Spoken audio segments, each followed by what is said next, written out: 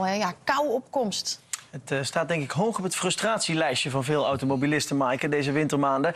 Krabben. Hou de ijskrabber de komende dagen maar bij de hand, want de temperaturen komen tot ver onder het vriespunt. Het ijs op de vooruit, dat belemmert niet alleen het zicht, het kan ook zorgen voor een fikse boete. De ANWB verwacht dat het aantal pechgevallen flink zal toenemen. Maak daarom uw auto winterklaar, dat is de boodschap. En daar heeft de Wegenwacht wat handige tips voor. Veel voorkomende fout is dat de wisser niet los wordt gemaakt van de ruit. Dan zit hij vastgevroren, uh, gaat het motortje kapot of de wissermechaniek. Uh, wat je moet doen is hem optillen en de onder echt schoonmaken. Een ander voorkomend probleem is dat de deuren dichtvriezen aan de rubbers. Uh, als je dan een paar keer op de deur drukt, dan heb je kans dat het ijs breekt, waardoor die alsnog open gaat.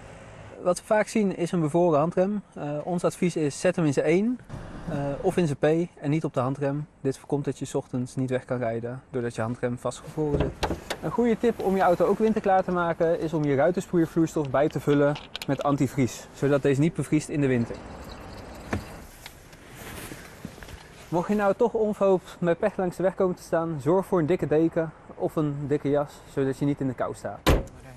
Wilt u deze handige tips nou ergens even rustig teruglezen? Ga dan naar wnl.tv, onze website. Daar zetten we ze nog even netjes voor u op een rijtje. Nou, Samira, heb je de dikke deken in de auto liggen? Nee, echt niet. Nee, maar het, ik heb wel eens met pech gestaan. En het is wel heel erg belangrijk, want het scheelt wel ontzettend als je bijvoorbeeld ook helemaal in deze tijd, waar hè, de werkdruk hoog is, misschien wat langer moet wachten ook op de ANWB. Ja. Dat ja. je dan wel dat deken, dekentje, dekentje, pardon, een dekentje hebt. Neem even lekker een slokje Ja, warme thee. Uh, uh, moest u krabben vanmorgen? Ja, vanmorgen flink gekrapt en, eh, en niet de ruitenwisser even opgetild. Dus dat is een goede tip die ik gelijk eh, meeneem. Maar eh, het was echt nodig vanmorgen. Ja.